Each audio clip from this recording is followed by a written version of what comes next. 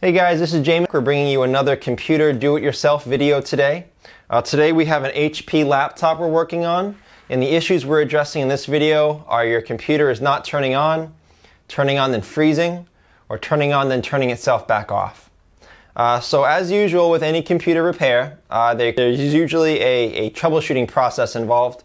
Uh, the reason is because there's usually multiple causes, multiple possible causes for any one issue with your computer. So we got to figure out which one it is uh, that's causing your computer to behave the way that it is. Uh, generally speaking, with troubleshooting, a good rule of thumb is to go and diagnose the cheapest or the easiest fixes first. And if those don't fix your problem, move on to the more expensive or the more complex repairs. So in this case, an HP that's not turning on, freezing, or turning on then turning off, the first things we're going to diagnose for is a static buildup, a bad charger, or a bad battery. Uh, now, if your uh, problem is something other than the specific ones we just stated, um, you may be on the wrong video. If your computer is turning on, but the screen is just staying black, go into the description and look at video number one. That will be a fix for that. And if your computer is turning on, but it's getting to sort of a, a boot loop situation where it just keeps rebooting, uh, go into the description video two. I will help you with that situation. But to start off today, you're going to start by unplugging your charger flip your computer over and remove your battery.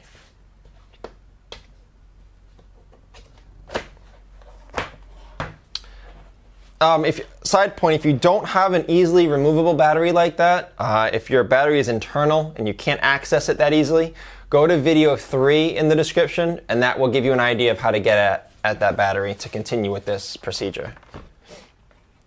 So now that the battery's out and the charger's out, hold your power button down for a minute. Many of you that have ever called into a warranty repair, uh, this is the first step they'll have you do, is just drain all the static from your computer by, by holding the power button down for a minute. You can get a static buildup a variety of ways. Uh, maybe your surge protector is bad. Maybe you're not using a surge protector. Uh, your battery could be going bad. Your charger could be going bad. Or maybe you're just using your computer around sources of static too frequently uh, blankets, pillows, pets. Um, all these things can contribute to a static buildup. So after you've been holding it down for a minute, you can release it. Go ahead and put your battery back in. Plug your charger back in. And go ahead and try to start the machine. If it starts, you know what the issue was, your static buildup, and then you can just avoid those things we mentioned earlier, maybe upgrade your surge protector, uh, things like that. If your computer does not start up, now we're going to move on to diagnose your charger and your battery to see if that's the cause. So unplug your charger again. Remove your battery again. And hold your power button down for another minute. After you've held it down for a minute, we're going to put your battery back in.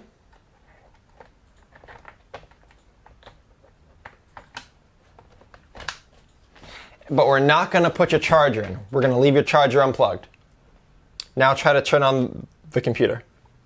If your computer turns on, you know that your computer's fine and your battery's fine, but your charger may be going bad.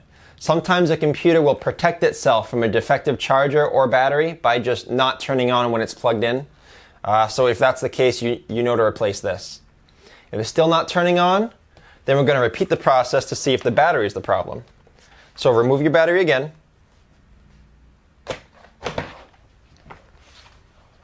Hold the power button down for another minute. Once you've been holding it down for a minute, uh, put your charger back in but don't put your battery in. Try to turn the computer on.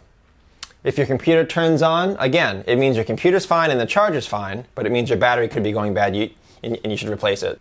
If after these steps your computer is still not turning on, uh, then it's most likely a different component that, that's causing the problem. And now we need to continue a different avenue for troubleshooting. Uh, the direction we go from here depends on your exact symptoms in your computer. So, if your computer is turning on but freezing, or if your computer is turning on and then turning itself off after the logo screen, you're going to go into the description, video 4. Uh, that will show you how to perform a BIOS reset on your computer. If that doesn't work, look at video 5 in the description. Uh, that will show you how to reset your computer, and additional instructions will obviously be in those videos. However, if your computer at this point is not turning on at all and giving you no signs of life whatsoever, try the BIOS reset in video 4 in the, in the description.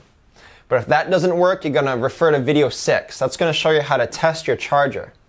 Uh, it'll, sh- it'll show you how to make sure it's getting the right amount of power from the wall to the charger into this tip.